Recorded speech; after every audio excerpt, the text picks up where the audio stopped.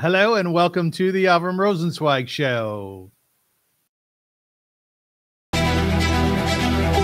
Welcome to one of the internet's best podcasts, where we dive deep into the lives of the extraordinary and fascinating people who leave an indelible mark on our world. Join us as we explore their captivating stories, remarkable achievements, and unique perspectives that shape history and inspire generations. Get ready to embark on a journey through the lives of inspiring people unlike any other.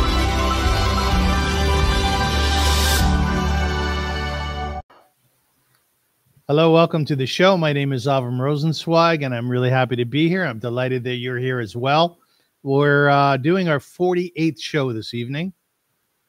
And if you have wondered what the, the my podcast is all about, let me explain to you in simple terms is I really want to pat humankind on the back.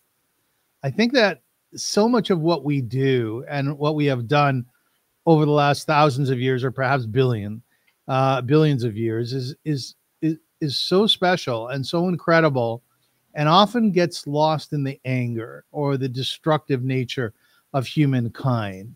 What what i like to do is to bring forward individuals who have inspiring stories and for us to listen to them very closely and to emulate them. Uh, when i speak about the successes of humankind just just let me mention a few of them. The moon landing in 1969. In 1969, we landed on the moon, and we have gone into space many times since. What a miraculous idea! What a miraculous reality! Uh, do you know that we've eradicated smallpox for all intents and purposes? It really was the first disease that uh, was eliminated by humankind. Uh, the internet revolution, uh, while there's a lot of crap on it, there's no question about that the idea that I can walk on the streets of Toronto and flip open my phone and speak to my sister who lives in Jerusalem. That's what we used to see on Star Trek. And here it is a reality in, in, in our lives polio vaccination, International Space Station, Human uh, Genome Project, and it goes on and on and on. I think that if we, humankind, were able to recognize more so the vast treasures of which we have uncovered and created and developed that to me that would lead to greater peace in the world. And i say that because when you recognize with inside of yourself the beauty your generosity of spirit you perk up. You become excited about life. You become excited about the world in which you live and the world which you share. So let's do that. Let's be inspired and we will today by my guest, Linda Broenniman. Broenniman? Yeah. Did I say it right? Yes, you do. You got it right. Oh, that's wonderful. now, Linda, firstly, thank you so much for being uh, with us. I really appreciate it a lot.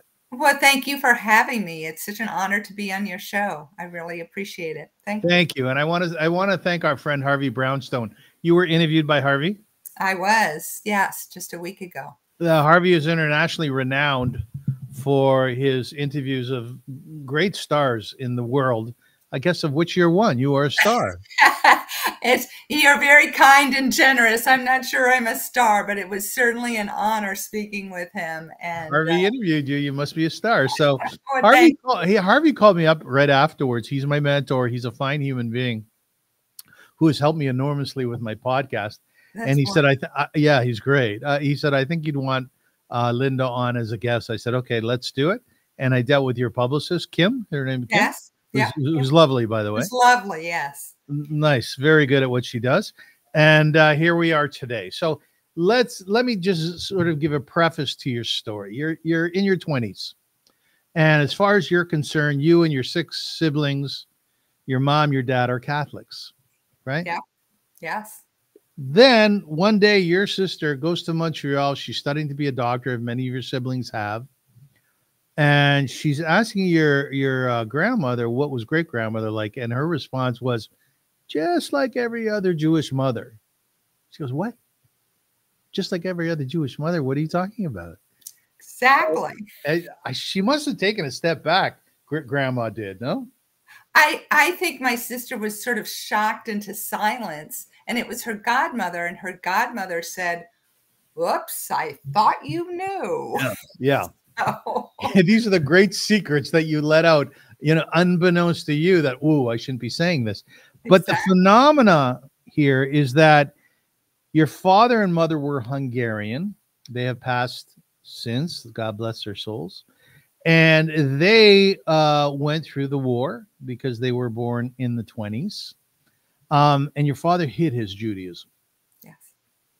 Yet you were able to uncover, some people might say exhume, through a tragedy in your in your family, uh, a box full of documentation, which stated much of what you had become curious about. The trek, the journey to uncover the Jewishness of your father, probably took about three decades, and uh, but ultimately you did, and you wrote a book, uh, the Politzer Saga. Yes. So how how was it writing a book, by the way? Just the process. Well, you know what? What's interesting is I never started out to write the book. I really I started investigating my family, and I worked with a Hungarian lawyer and sociologist who he himself was just brilliant, um, and he uncovered things in places that you just you know most people couldn't do. so, as he started finding this information, I needed to understand it. And I needed to understand the zeitgeist of the times that these people lived because we were able to go back eight generations. We went, went back to the 1700s. Yeah. So I, and I have to say, as much as I was went to great schools and was supposed to learn history, my history was awful. Mhm. And so I did, I just did deep a deep dive into whatever history I could find to try to understand the times.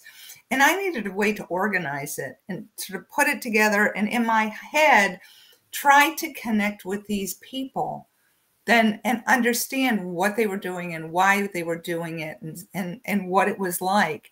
And so it, the book sort of just emerged, I will say. And it was a great way for me. I after writing it, I felt like I was really connected to them. And that's what I wanted more than anything else. What's it like for you to be an author now? What does that feel like? Um, you know, it's still sort of new in my head. I, I'm not sure I call myself an author, though. I love it, and I love speaking about it. I've I've done, um, you know, spoke uh, in in person and on Zoom calls and interviews like this, and I I just love speaking about them. And what's really been fun and interesting is, as a result, I've had a lot of Politzers reach out to me and we're trying to figure out whether we're actually related because this was a huge family to begin with. So, so what, what what's fascinating about this whole thing is that your father was deeply, deeply private, Very much so. very much so. Yet you seem the opposite of that. Would that be accurate? well, it's so interesting that you say that because my father actually, even though he was deeply, deeply private, he was um, he was an extrovert. He loved people. And you know, he was a physician, and what he loved the most is teaching. So he he just loved his students and he loved teaching. I thought I was always an introvert and I didn't like speaking at all. But I think it's because of the subject matter. I just love speaking about it. So Well, yeah. I mean, yet you're an entrepreneur. Uh, would you argue that entrepreneurs, by definition, are somewhat ex- extroverted? I don't know. I think they're crazy. They're insane. You know, Do you feel Yeah. that way about yourself? Are you? little- you have to be highly optimistic. I think you know, and and you have to sort of you know, I, I don't know, maybe uh, be a little separated from reality. Like, can I really make this happen? So yeah, you you uh you you grew up in Buffalo, yeah, um, and then now you live outside uh, of uh in Washington State. Uh, Washington D.C. Washington D.C. I'm sorry, uh, you're married, um, and you have a sort of a melded family. Of your your husband had three kids, and you adopted two, sort of adopted two Afghani girls, Yes. right? So so you are very much part of the world. We call this in Hebrew, tikkun olam, which is Mhm. preparing the world. Are you familiar with it? Oh yes. Oh Okay. yes. Yeah. Yeah, and you know what's interesting, sort of going back to my my parents a little bit, and maybe it's the way I was raised.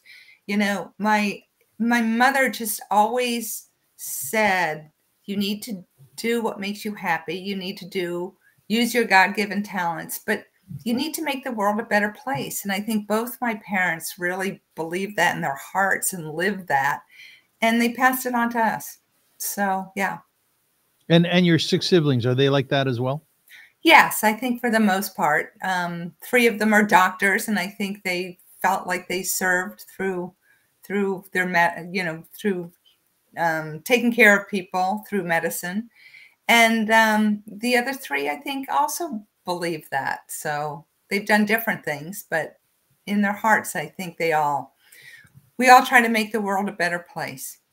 Well good for you. I mean what i find compelling about you as well there's you and i have just met not five minutes ago so this is always an exciting thing for me. As far as I'm concerned, you're a blank slate. And by the end of this interview, we're going to have this beautiful picture. Oh, thank you. That's Absolutely. so kind of you. So Absolutely. really kind of you. So what interests me as well is that you you're you're the middle of those seven siblings. My sister Naomi was in the middle, and she and my father used to sort of, you know, have this uh, uh, almost like an agreement that Dad, you're the middle one, I'm the middle one, so we're all a little bit nuts. and I think the reason for that is that you're not you're not the youngest, you're not the oldest, you're kind of out there on your own. Uh, do, do you think that's how you grew up? I do because I think for the three older ones, it was almost as if they had their own family. Then there was me, and then the three younger ones were their own family, and I was sort of in the middle, you know, part of each group, but not part of each group. Right, right. So yeah, yeah. There's something about it, especially when it's a big family. Oh, you know something. I'm the youngest of five. Ah, oh, so. So when I get together with my sisters, I do act a bit like a little boy. I do. it's fun. Though. It, it, it is fun. So it doesn't matter let, what age you are. no, it doesn't. so let's dive let's dive into your uh, your story, your parents' story. Your, your your mom and dad were both born in Hungary. Yes. And they met there. Yeah. The, the war in, in the Second World War really started to affect Hungary uh 1943, 44, right? Yeah. Yeah. Yeah, they were late late into the war. Yes, they were late into the war, yet the destruction with the Nazis caused in Hungary was absolutely uh, devastating, right? So your father tell us where he found himself and your mother when the war broke out? What were they experiencing at that time? Well, in 1942, they were 18 years old and they had just started medical school.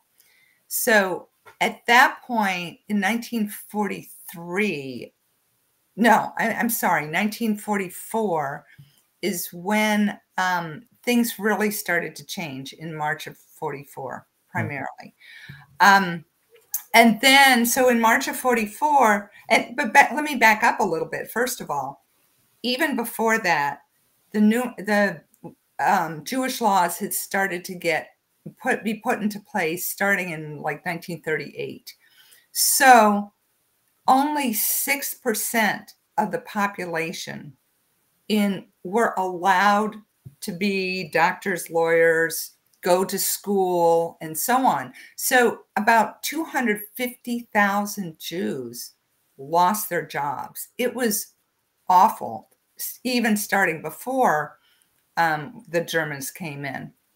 So, in 42, my father was really, it was a surprise that he got into medical school at all. And I think it's because the family were able to pull a lot of strings to get him into school.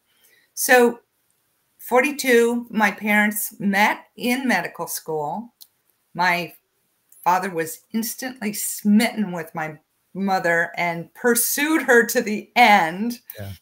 Um, but in 19 um, in 1944, when the Germans came in in March, then in April, everyone had to, you know, wear the yellow star. They had their everything was so restricted. I mean, my parents loved to go hiking, and my father wasn't allowed to go hiking. He wasn't allowed to be in public parks. He wasn't allowed to go to the movies.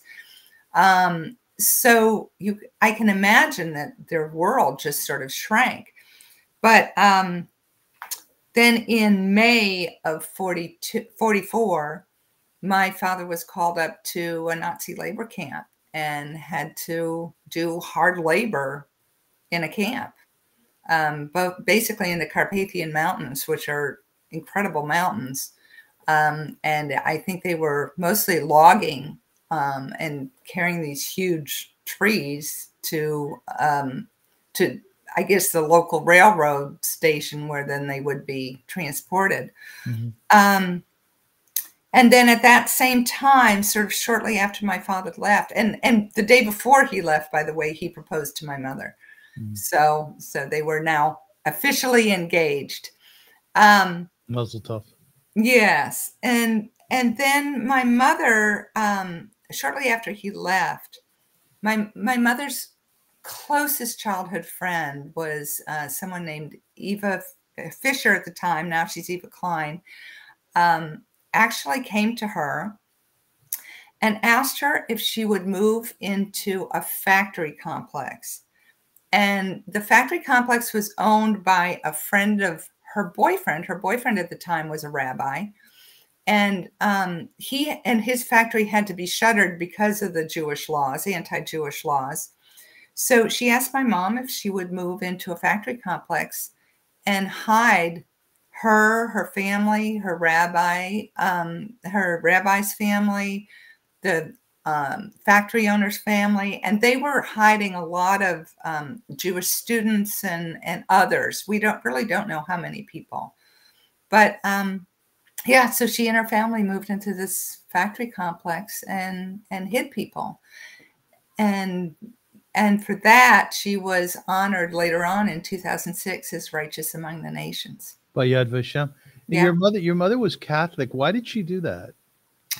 Well, her best friend was was uh, was Jewish. Ava was Jewish, and they were very close. And she was not going to let anything happen to Ava's family, and and of course my father's family. I didn't find out until much later that she also hid my grandmother and my father after he escaped from labor camp. Do, do you understand the psyche of the the righteous among the nations? There are very few people who actually put their lives at risk to save Jews. Well, you know what's interesting? Um, when my mother was awarded Righteous Among the Nations in 2006, she was already suffering from Alzheimer's. She yeah. was not in good shape. And so we don't really know how much she really understood about it. My father actually gave her acceptance speech and so on. But after all, after the ceremony itself, there were lots of reporters hovering around her. And one of the reporters asked her, he, he said, How did you have the courage to, to hide people? How did you have the courage to risk your own life? And she answered, and, and very strong. I mean, I, I remember this so clearly. She said, I did what any other decent human being would do. And you know, I, I, mean, even in her Alzheimer's, she that was my mother. She was she believed in humanity and she was not going to risk anyone's life. She was going to defy injustice. She always was like that. She just, you know, was believed in in humanity. Were her her parents empathetic people? It's a good question. I don't know. I don't know. I I she did not get along with her either parents. Mm-hmm. She was um they had a very complicated story themselves, very complicated. She actually was born in Rome and came to and they were Hungarian, so she wasn't Italian. She but uh, she lived in Italy up until she was 10 and then she came to to Hungary to live with her grandmother um, and later her parents came, but she never really got along with her parents that well. And my and her mother actually came to the states and lived with us, but she was a, a very bitter person. So um, I don't I don't think she got that from her parents. I think think that somehow that was innate in my mother, but I don't think it came from her parents. Did you get that from your mom? Yeah, I think so. Yes. Yeah.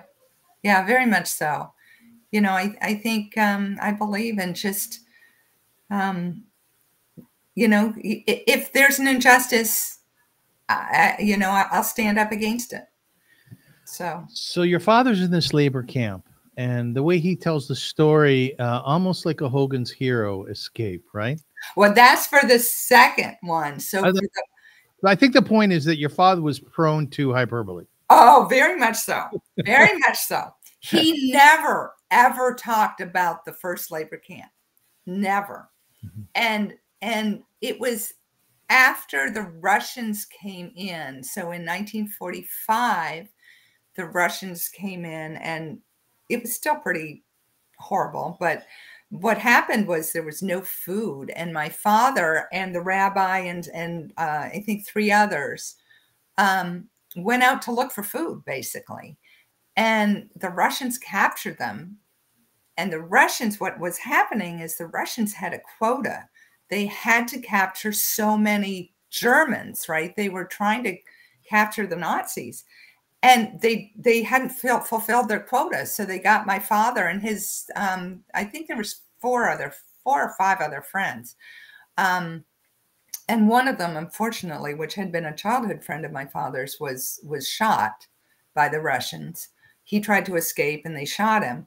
But when they got to this russian camp um, they were able they were able to escape they were able to communicate with a Russian and let them know that they weren't Germans, specifically because one of the Russians understood Yiddish.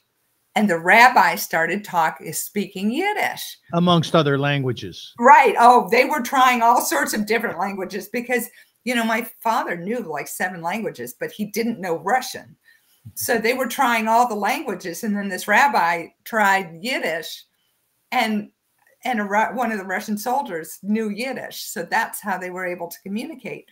But the way my father told the story, he told it like a Hogan's Hero um, episode, you know, where he where the where the camp commandment was commander was actually letting them go because he got the other um, soldiers drunk or something, and it that wasn't the way it was so ultimately, then he he he makes his way back, right? Yeah, well, he made his way. They told him, they told him to go to Szeged, which is a town about two hours or so south of Budapest, because uh, the fighting had stopped there and the medical school was opening up. So he went to Szeged and um, and and started medical school, believe it or not. I mean, that was his big thing is he wanted to get back to studying. And somehow he got um, oh the rabbi actually didn't want to stay in Szeged wanted to go back to Budapest. And when the rabbi went back he said oh you know uh, Julian is there. And um, so Clara and Ava hitchhiked to Szeged which is its own remarkable story which wasn't wasn't in the book but lots of details about that so it was um, you know what's phenomenal? Oh, what's phenomenal about that, Linda? Just the pieces that we've approached so far. It, it, it is everybody has a story to tell, right? Absolutely. And this story, which you're telling, is so rich and so complex and so daring and so loving and beautiful. You mentioned before that your your father was was smitten by your mother. Oh, she she was smitten by him, and they wanted to get back together. Absolutely. It was a true love affair. What what did he adore about your mom? You know, that's a good question. I think, you know, it's it's interesting because it's hard for for a, a daughter, I think, to understand that. But yeah. um, I was talking to a friend, uh, a friend of theirs who was had been in medical school with them in in both Budapest and Szeged. And um, and he said what he said was that Ava, her friend, was absolutely beautiful and very interesting looking. And my mother was very beautiful too. And it's sort of hard for me to, you know, say, yes, my mother was beautiful, but, but I think she was beautiful, but also she was really smart. She was incredibly smart and she was very humble. And um, Ava told me that before she met my father, she was very, very, very shy. Mm. But when she when she met my father, she just blossomed. Hmm. So she, you know, she was a very, and she, I, you know, she was clearly a very strong person. She had such inner strength and she was so loving and strong and she would fight for what she believed in. Was she a good mom? She was a great mom. Yeah, how so? Really, she really supported us no matter what we wanted to do. Um, she was always supportive and encouraging. And, you know, as I had said before, she said, she'd always told us, you know, you can do whatever you want, just use your God given talents. And back then, people didn't really say that. No, you know, now, now maybe they do, but back then they didn't. You're 100% right. You know, I'm of the artistic bend and um, I've been a writer and I've been a podcaster. I've done all kinds of radio. And early on, when I was trying to find myself, I had people telling me, well, why don't you become a travel agent?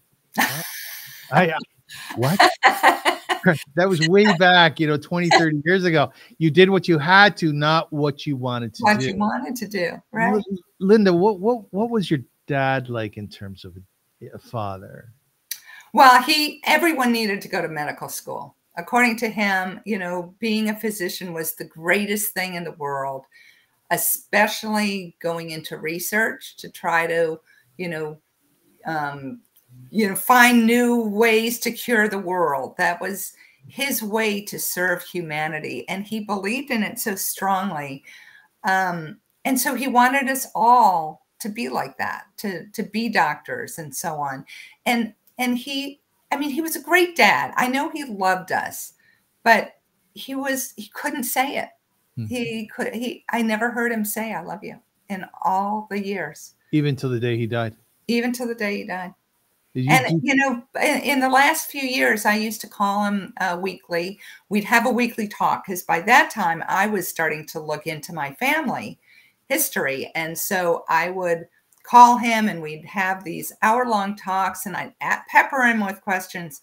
He never ever would talk about um, his his being Jewish. He never admitted it to his dying day, and um, and he could never say "I love you." and I would I was always say, you know, bye dad, I love you. And he couldn't he couldn't say it back. You say it to your kids? Pardon? You say I love you to your kids? Oh, absolutely. Yeah. Absolutely. All the time. Do they as much as I can. As much as you can. Do they say they love you? Oh yes. Good. Yeah. Good. Yeah. Okay. yeah. You, you broke that chain. Good for you. Yeah. Well, let me ask you something. I know that your great grandfather signed a card in the early 1900s, uh, changing his name, changing his status uh, really converting to Christianity, really. And and but it, on the card, strangely, it said, "But I I, I am I, an act not an acting Jew, but I still can be seen as a Jew." Something like that. So the fact of the matter is, converting to Christianity didn't mean very much to the Nazis, right? Meant nothing to them. But I also don't think he did it out of any other um, any other reason than he was trying to support his family back mm-hmm. then. Mm-hmm. So, you know, he, first of all, he changed his name back in um, 1912, I think it was. It was even before World War One. And the reason to change his name, I don't think had anything to do with his Jewishness. I think it had to do with Hungary at the time. So Hungary was still part of the Austro-Hungarian Empire. And what they were trying to do was to um, Hungary wanted their independence. And so they were trying to prove that the majority of the population was Hungarian. So they actually encouraged people to change their names into Hungarian names. And so it was more out of patriotism for Hungary than anything to do with religion. And then I think when he converted, he converted in 1938 which was, you know, I think he did that because he felt he needed to try to keep his his legal clients and and so on, and so he he felt that that was the best way to protect his family and to um, and to keep his clients and keep food on the table. So, from your research, you know, we talked about your dad when he was 18 and the war was breaking out. He met your mom in medical school was there anything whatsoever personally Jewish about your dad? Did you ever see any aspect of him at all that you sense, well, that's Jewish? Well, you know what's what was interesting is when my niece got married, um, and I, I think it was 2011, maybe or no, I'm sorry, it was 2008 when she got married, and she got married to um, a Jewish man, and they asked my father to give a little speech, and he gave it in Hebrew, You said- perfect Hebrew, Really? perfect Hebrew. Yeah. And but my father, it's amazing. People came up to him and said, "Wow, where did you learn Hebrew?" Um, and he and my father was just a master deflector. And his he said, "Oh, I'm really good at languages. I also know Swahili." Is that what he said? yeah, that's exactly what he said. So he was just, he was such a master deflector. But I also believe, you know, I, I do believe that he never lost that. And it was interesting, even after um, after my mom had died, and you know, our uh, their house had almost burned down, and um, my sister came um, over to check it on, check up on him, and it was the anniversary of my mom's death, and he had lit a candle for for her. Hmm. and you know in the jewish tradition. And so i think he did a lot of things but he didn't let us know about them he did them in secret So when you were growing up, again, he was highly secretive about his Jewishness. Looking back on it, was there anything uh, Jewish within the household? Is there anything Jewish about you? Um, I think there's a lot of things that are Jewish, and I think it's sort of this. I think it's more of the values than anything else, and this this service to humanity that that it's really important to serve humanity and to try to make the world a better place. Yeah. I Yeah. think that's the biggest thing.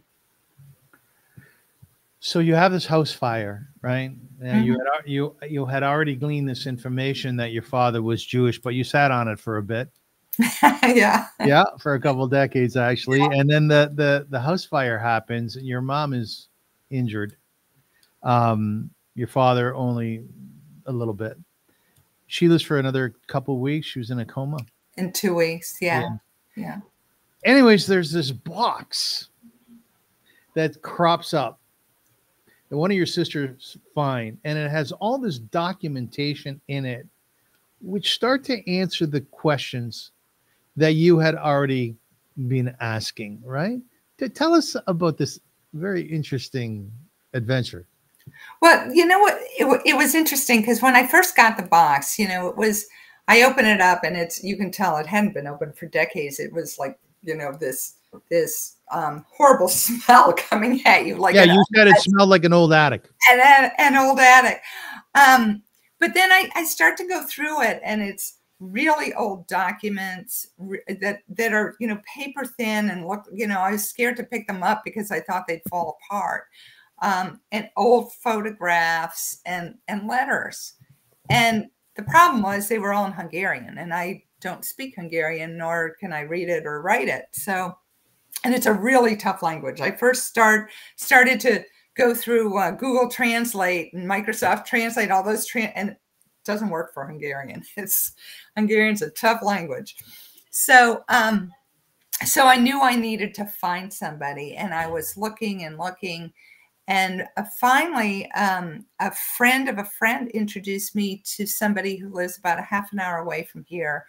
Um, and she was an absolute dynamo. Um, and she, you know, she's Hungarian, she's Jewish. She looked at these papers, and I, I, I swear I could have spent two days at her house. And I, you know, after spending like six hours, I, I had to leave, but um, she was remarkable.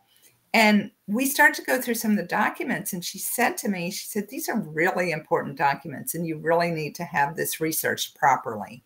So she introduced me to a number of different people, including people at the like the Holocaust Museum here and, and other Holocaust museums overseas.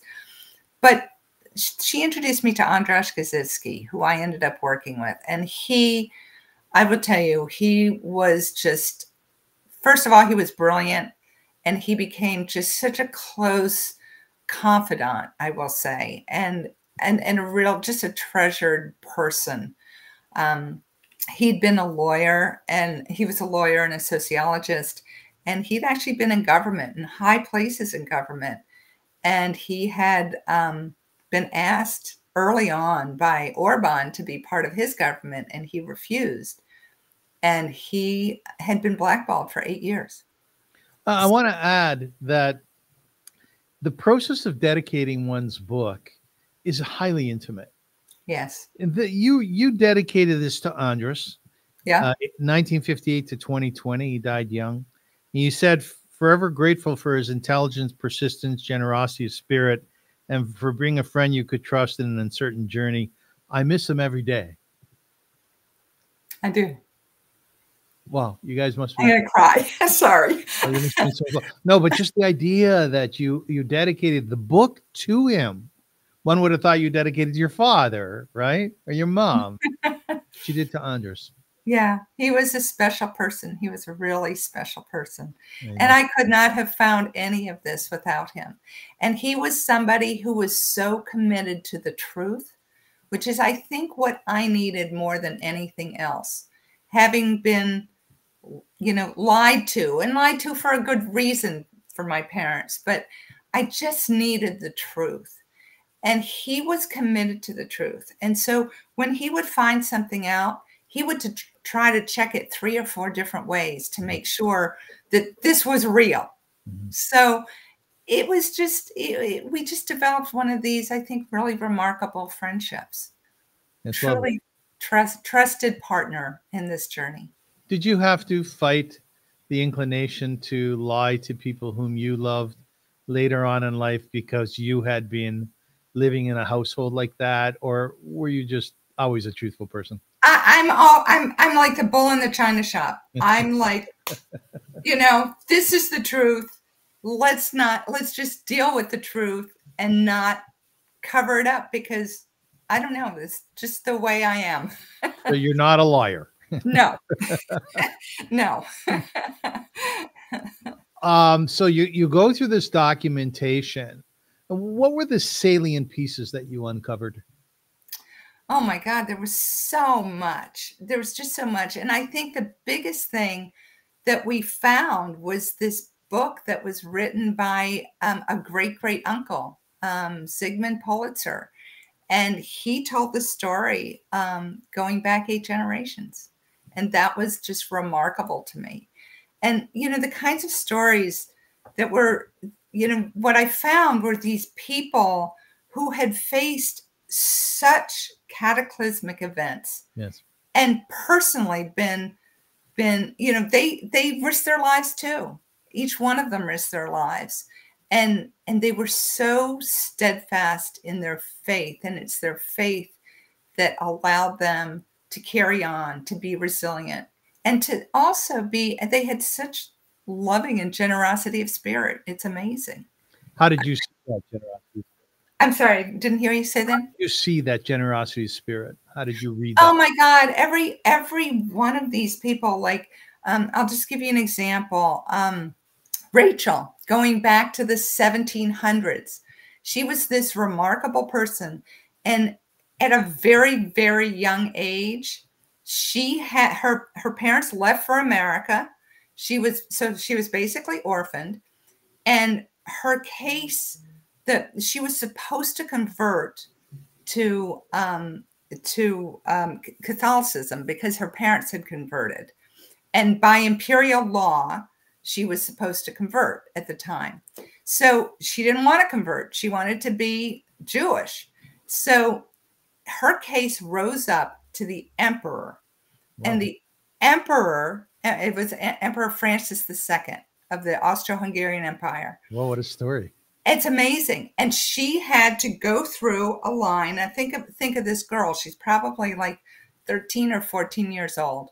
She has to go through a line of christians on the left and or maybe on the right i don't remember which was which and jews on the on the other side. Wow. and at the end of the line then she had to choose which way she was going to go. And she chose judaism. And the rabbi said to her and i i cried when i first read this rabbi said to her you will all of your descendants will be good and happy people.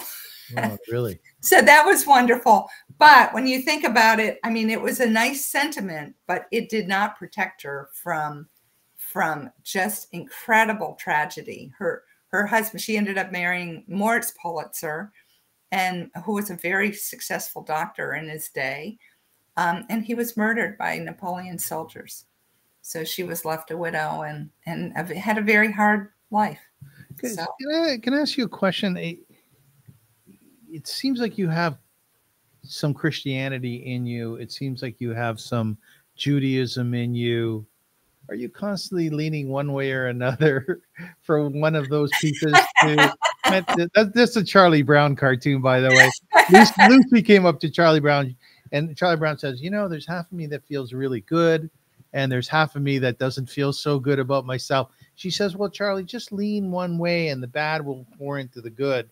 So, is, is, there is there something inside of you, like an ongoing battle between that Christianity in your past and then your dad's Jewish?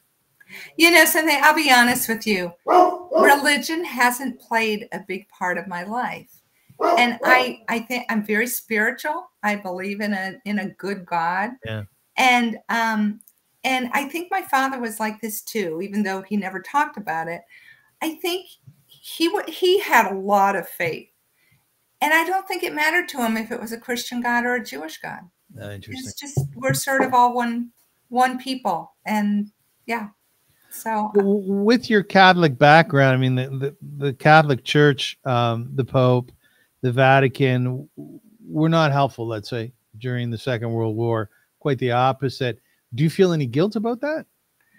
Well, I don't feel guilt, but I feel horrified that mm. that they treated people that way, that they could turn their backs on people. Yes. As a matter of fact, you know, when when Hungary started putting in all those anti-Jewish laws, the um, the the I, I don't think it was maybe the priests, well, some priests, but the bishops certainly were all in favor of that until the one Jewish law that forbid marriage between Jews and non Jews. Because at the time, at, there was a period before where Hungary was very assimilated. Jews were very assimilated in Hungary. And so there were a lot of intermarriages. Yes. And and so then the Catholic Church was going to lose a lot of, quite frankly, wealthy donors because of that. And that's the only time that they objected. So I don't think it had anything to do with religion and caring for people. I think it had to do solely with money. And that to me is horrifying. So if someone says to you, Linda, what are you? You know, the, um, the difference being, what is your background? What is what? How do you live? What religion do you come from? What would be your response? You know, I I was raised Catholic but I have a I have Jewish ancestors, and I am so proud of them. I am I, I can't tell you how proud I am of of them. And and I'll give you an example. I'll give you a great example. My great great grandfather was, um, you know, he was a very successful lawyer. He was he was founder of the Budapest Bar. He was a big philanthropist, and he was an ardent Hungarian patriot. He loved Hungary, yes. and he um, he he as i said he was a big philanthropist very active in the jewish church. So in 1944 yes in june of 1944 he basic well even before that in 1938 he lost he had, they had a huge farm outside of budapest that he lost. In 1944 june of 1944 all jews had to leave their homes and they were um, they they and actually he had a he had built a home in 19 in 1888 on sort of the grand uh, boulevard in Budapest. It was a huge home. It had a lot of apartments that were all family members. Everyone had to leave their home, leave the house, move into one room in the Yellow Star house. And these were houses, they were unique to Budapest actually in the Holocaust, but they were essentially um, they would be marked with a yellow star and they were actually um, preparing jews for deportation is what they were doing so he writes to governor horthy and asks for exemption from these restrictions and wants to go back into his house. And he actually got a letter approving that, but by that time it was too late because the Germans had taken over. And so when he got the exemption, he got an exemption from all the Jewish restrictions. And he refused to take the yellow star off. And he said, I wear my Judaism with pride. And that was him. And that I th- I think that was sort of, you know, um, inherited, I will say. So this whole journey, which your father never really wanted to hear about, you never spoke to him about it. He didn't want to talk. He wouldn't about talk about it. He wouldn't go there. No, right to his dying day. Right. How would you say that it, it excuse me, that it helped you evolve as a human being? My father's secrets or No, no, this this trek that you went on. this journey. discover- yeah, this journey. Well, you know something i think uh, first of all it helped in in many respects i think i think part of it was when you don't know your roots it, it's just it it leaves you you know sort of like this like do i really belong here i you know i didn't ha- i felt like i didn't have roots i knew my grandmothers but i didn't really know anything about any of my other ancestors Yeah. and um, you know, there's a famous quote, and I'm going to get it wrong. There's a famous quote by Goethe, who is the you know German famous German philosopher, and he says um, something about the best thing that parents can give is roots, and then wings. You know, wing and and I don't think you can have the wings without the roots. And I think that's what this gave me. This gave me roots. And I as, think, as well as the wings. and yeah, I think as well as the wings, because I think also, you know, I was I was angry with my father. I, I you know, was quite angry, and I don't think I, I don't think I knew I was angry, but I was angry, and I think by understanding the stories and understanding more of what he faced, I I can forgive him, and I I you know I don't judge him anymore. I really don't. You know, he it was. I think he kept the secrets because when he came to the states, the states were just as anti-Semitic. Yeah. You know, they weren't. They were just as bad, and I think he had left all this horror, and he was starting a family, and I think he he wanted to protect his children. Did he have a bar- did he have a bar mitzvah? Your father? You know, I that's the one thing I couldn't find out, but I will bet he want he did because both his father and his grandfather were were very active in the Jewish community. So I I would bet he had he did. You Oh. know, Linda, as as a Jew, my, you know, my father was a rabbi, Mm, and I went to uh, Talmud school. hmm And and although I'm not religious anymore, um, if you ask me, Avrum, who are you? The number one or two or three would be I'm a Jew. So I live it, I breathe it, right? right.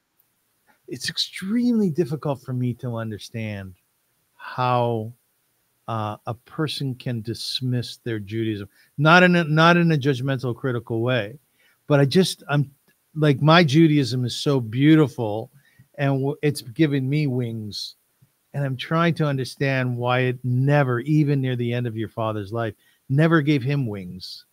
Yeah, I think he was I think he had built up this story when he, you know, having lived through those horrors. I think he had built up this story and he just couldn't Yeah. Couldn't break it.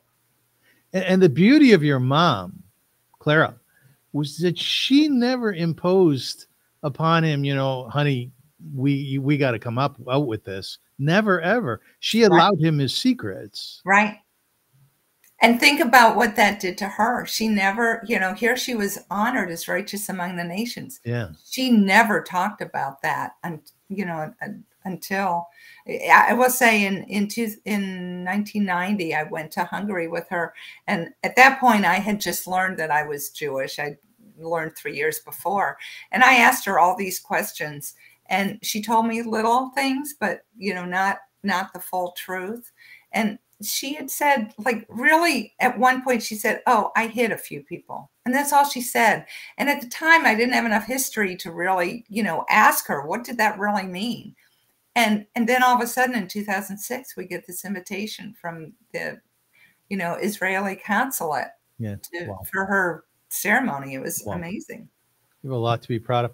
By the way, as you can see throughout this entire interview, I've been pushing you to say that you're a Jew. And then, like a minute ago, do you notice what you said? You said I, and then I found out that I was a Jew. I was Jewish. Now, was that Freudian or was that a slip or what? And I've been pushing you, Linda. there you go. there you go. Has has uh, in, in this whole sort of trek and journey, which is really a splendid, splendid uh, uh, journey that you you've been on. At the end of it, now here we are today on on June the 11th, where there is an awful lot of anti-Semitism in the world, and there's an awful lot of things going on in Israel and Gaza. Let me ask you: Do do you have any sense why the Jewish people are hated so much? I wish I I wish I could answer that question. I mean, it's uh, no, I have no understanding of it at all. I mean, yeah, I, I don't know. I don't even know what to say. We're just all people. And I go back to actually the way we were brought up. My mother brought us up, and my mother always said, it doesn't matter what your race is, your ethnicity, your the color of your skin, the you know your sexual orientation your economic status it doesn't matter we're all human beings and we all need to be treated with respect and dignity and compassion and that's how we were brought up and so i don't know it's just completely foreign to me. I, I don't understand it. Have you seen anti-Semitism where you're at in life? um you know i don't think so. Not outwardly but um but i do feel the fear. I and you know i i feel especially as i've been speaking and and interacting with a lot of people. And i will tell you i've had a lot of um uh, i was supposed to do a lot of book talks and they've been canceled because of fear of you know and it's just it's unbelievable. To me to me right now it's more important for, than ever for me to speak because we are just all people and that's we, we need to carry this message that You were they were canceled by the sponsors, yeah. the hosts, Yeah. not not by you. no not by me. Not by me. And as i said I, I think it's more important than ever that we have these conversations. That fear that you're feeling, a fear of what? and i'm not feeling it. I'm I, i'm not feeling the fear. I think i i think i'm ready to I, like the bull in the china shop Oh, i'm ready to get out and speak. But i think others are really afraid of having gatherings um, and that that there could be violence When I said at the top of the show that uh, this is all about inspiring others, um, I think that you've done a, a, a beautiful job of that, Linda. oh thank you I, thank I you. s- I say that because, um, firstly, you saw a challenge in front of you, uh, which was a very deep one. You know, all of a sudden you find out that your father's a Jew. I've often asked Jewish people, what would happen if one day you woke up and you found that you weren't Jewish? And one can only imagine what goes on in people's heads when they discover, my God, I'm a Jew, you know, or, or my father's a Jew, however you want to qualify. it. Then you set about investigating it. You know, you're sleuthing. You, you started Mhm. sleuthing with your friend Andras, and you wrote a book about it. I mean, that's magnificent. It really is. well thank done. you Well thank done. you so much i appreciate that thank you Uh, is your family proud of you? I hope so. I hope so. I, you know, I, I honest, I, I think my mom and dad are, are looking down, and I think they are. I think they are. Like your dad has no secrets in heaven, does he? no, absolutely not. And you know what? I think, I think he'd actually be happy that these secrets are, are, you know, are now open out, out in the open. Oh, yeah, That he has wings now. Yeah. Before we part, uh, I'm just very curious. I'm a curious man. T- tell us about your Afghan daughters. Oh my God, they are so wonderful. It has been such a gift to us. I think you know after um, after they graduated college from college, they came here on a program through a, a, program called SOLA, and it was SOLA stands for School of Leadership Afghanistan, and it was a um, it was an organization that was founded by my husband's uh, college roommate, nice. and and now it's taken over by an Afghan girl called Shabana, and and a lot of the students now have are actually they're carrying on school in Rwanda because they can't in Afghanistan, unfortunately. Um, but any rate, uh, they came here after college, and so we um, we helped them get asylum and and help them to sort of study. And one went to medical school, the other went and just graduated from law school. So we are so proud of them. How did they get along with your other three? Oh, great, yeah. fabulous, fabulous. Yeah, yeah. So you have a very rich life then. Oh yes, good absolutely. Absolutely. good for you. Did you ever get lonely or feel like I'm bored? No. Never, right? No, that's one thing I don't. that's lovely. That's beautiful. Are you a cook? Um, I used to be. I'm. I'm. I'm not. Not so much anymore. I'm. You know, as I get older, I say, oh, let's let's order out. do you do you sing at all? I wish. I have a terrible voice, but do, you I, have a have do you have any poems or prose um, that you've memorized about the beauty of life? excuse me, about being free. I like to ask my guests to finish off on something that they're passionate. Oh, I wish I wish I did, but I don't. But what a great what a great way to end something like that. I wish I had something. Perhaps I should have I should have prepared you, Linda. Yeah. in, in conclusion, folks, we talked at the top of the show about the beautiful things that uh, we uh, humankind have developed in life, and I, I just want to I just want to share a couple more so that this should you know remain in your head. The human rights pro, uh, process, um, despite ongoing challenges, significant progress has been made in advancing human rights, including the abolition of slavery, although there are still slaves in the world, the establishment of equal rights for women and minorities, and the recognition of LGBTQ uh, plus rights. I mean, it's a magnificent thing. You know, had we been living 30, 40, 50 years ago, we, we were 100 years ago, 200 years ago, the rights were not for everybody, right, Linda? Absolutely. They Absolutely. were not, not for everybody. Yeah. yeah. Y- yet there has been a stand in the world that we are going to try and develop a system that will inculcate the entire world whereby everybody has has rights. As you were saying before, Linda, that everybody deserves compassion, everybody deserves to be loved, to be taken care of, and so on. Uh, the rapid technological advancements, global efforts to combat climate change, and the list goes on and on. I think, uh, folks, fellow human beings, we have to embrace the beauty uh, that we have in our world and the beauty that we have within. And when we do that, we'll recognize it in others as well. So please do that. When you listen to this interview, take away from Linda the bravery, the courage that she had really to uncover her roots. That's not always easy to approach her father about it, who did not want to talk about it. And ultimately, he didn't. But it took bravery, I'm sure, to even try and just to emulate the beautiful world, the beautiful life that she has developed. So, Linda, thank you mm. for being with us. Thank you so much for having me. I love this conversation. So thank you so thank much. Thank you. I loved it too. And, and I'm just so proud of you as a fellow human being. Thank you oh, for doing what you've done. Thank you so much. All right, folks. Uh, till we meet again, we have some great shows coming up, and I look forward to being with you. Uh, it's uh, this is being recorded right before the holiday of Shavuot, so Chag Sameach. Have a good holiday if you are watching it prior to to that holiday and uh, just just remember to emulate the beauty that so many people uh, show us and to bring it into your own life. Thank you so much.